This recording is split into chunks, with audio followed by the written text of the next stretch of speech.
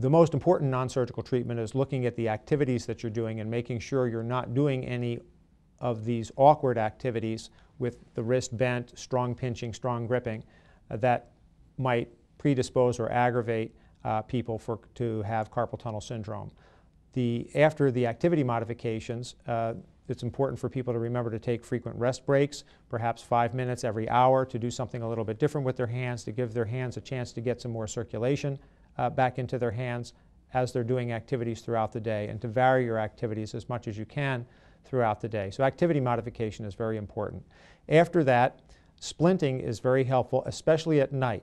Many people wake up in the middle of the night with their hands numb and tingling. It's a very common symptom of carpal tunnel syndrome.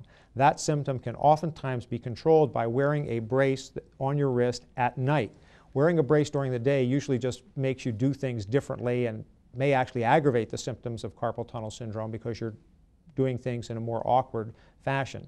But at night, splinting can be very helpful. The other time that splinting is useful is when you're driving a car or something uh, like that where you're doing prolonged gripping. And again, the splint helps to hold your wrist in a straighter position that can be helpful. The third non-surgical treatment that is uh, particularly effective is a cortisone injection into the wrist. We don't know exactly how it works, but it does seem to provide at least temporary relief in almost everybody with carpal tunnel syndrome, and in about a third of people it can provide quite long-lasting relief. So activity modifications, splinting at night, and cortisone injections are the main non-operative treatments that help. Vitamins, anti-inflammatory medications, fluid uh, pills, things of that, those natures don't appear to be as effective.